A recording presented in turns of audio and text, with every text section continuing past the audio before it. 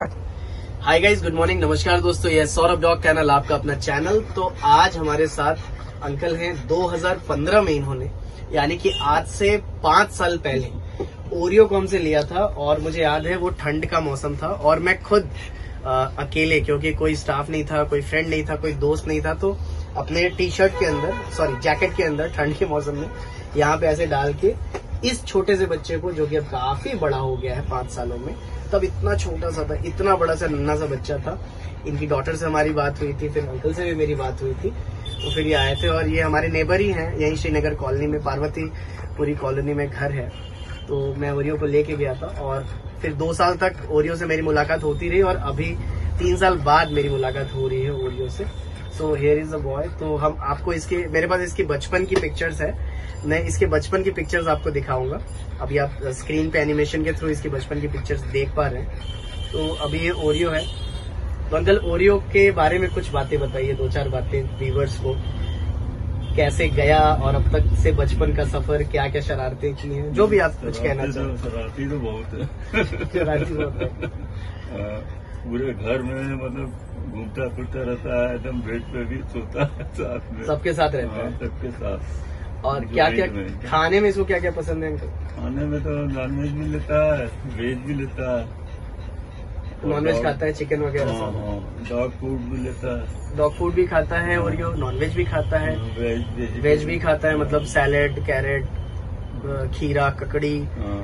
केला आम सब खाता है। तो आप देख सकते हैं बहुत ही हेल्दी बहुत ही उमदा बहुत ही अच्छी क्वालिटी का भी है पसंद है इसको। स्वीट भी पसंद है कभी कभी मिठाई भी दे देते हैं। इसकी वजह से इसके थोड़े से हेयर फॉल हो रहे देखिए आप कैमरा में देख सकते हैं इसके हेयर फॉल हो रहे हाँ। तो अभी हम थोड़ी सी जानकारी और देंगे अंकल को कि कैसे कैसे है।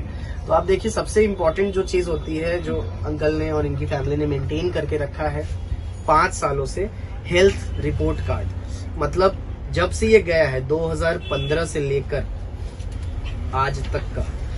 अ, सारा रिकॉर्ड है इनके पास कि कब कब डिवॉर्मिंग हुई है कब कौन सी वैक्सीन हुई है कब कौन सी वैक्सीन हुई है। अगस्त में इसकी वैक्सीन हुई है फिर लगातार अक्टूबर नवंबर दिसंबर। पूरा टाइमिंग पूरी टाइम टू टाइम ये वैक्सीन करा रहे हैं हर साल भी करा रहे हैं ईयरली वाला भी करा रहे हैं। तो आज भी ये अपने वैक्सीन के लिए आए हुए हैं। बच्चे जी हमारे पास। तो कुल मिला जुला के ओरियो का सफ़र अब तक का बहुत अच्छा रहा है। हम कुछ स्नैपशॉट के थ्रू आपको दिखाएँगे कि ओरियो कैसे कैसे बड़े हुए हैं और कब कब कैसे कैसे हमारे पास आए हैं। तो अंकल सबसे पहले जब आप लेने आए थे हमारे हम्म। तो मतलब मूड पग का ही था या कोई और ब्रीड थी फिर पग हो गया ऐसा? नहीं पग का मूड इसलिए रहा कि पूरा घर में मतलब हर तरह से कंफर्टेबल है। हम्म, और पूरा आ जा सके कोई दिक्कत ना हो इसलिए पग को ज़्यादा लाइक किए। अच्छा। घरेलू है एकदम।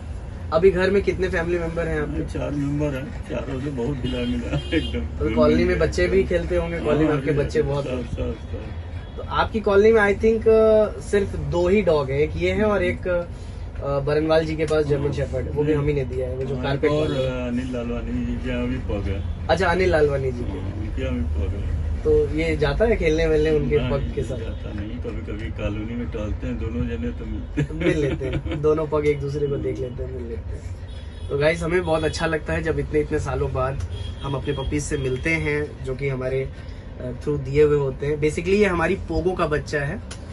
मतलब एक भावुक भी है मूड और थोड़ा सा मतलब बहुत ज़्यादा प्यार आ रहा है कि क्योंकि पोगो नहीं रही दुनिया में तो बट पोगो का बेबी है आठ नौ बेबी। हाँ। आठ बच्चों में ये ओरियो थे तो ओरियो को हम लेके गए थे। तो बहुत क्यूट है। सो आप प्लीज़ हमें कमेंट करके बताइए कि ओरियो कैसा लगा। और ज़रूर जब भी आप पग रखें तो कृपया करके ध्यान रखें कि वैक्सीनेशन टाइम टू टाइम करवाएँ। और उसका मल्टीविटामिन लीवर टॉनिक कैल्शियम ये सारी चीज़ें दें। और पाँच सालों से अंकल ने रखा हुआ है, आज तक कोई भी प्रॉब्लम नहीं आई है। कोई परेशानी नहीं आई है। और ये बहुत अच्छी ब्रीड होती है, बड़ी फैमिलियर ब्रीड होती है। परिवार में रखने के लिए दोस्ती के लिए और ये हमेशा आपके साथ रहते हैं। हमेशा आपके पीछे पीछे रहते हैं। हमेशा ही और अ, सबसे अच्छी बात इनकी है कि ये कभी आपको अकेला नहीं छोड़ेंगे। आप कितने भी डिप्रेशन में हो टेंशन में हो क्योंकि एक चीज़ पर्सनल क्वेश्चन है अंकल कभी कभी क्योंकि हम लोग मर्द हैं दुनिया भर की हज़ार टेंशन बाहर की होती है। तो अक्सर ऐसा हुआ होगा या होता होगा कि बाहर से बहुत मूड खराब है। किसी वजह से कभी गाड़ी ठुक गई कभी कोई पैसा नहीं दे रहा कभी पैसे गिर गए।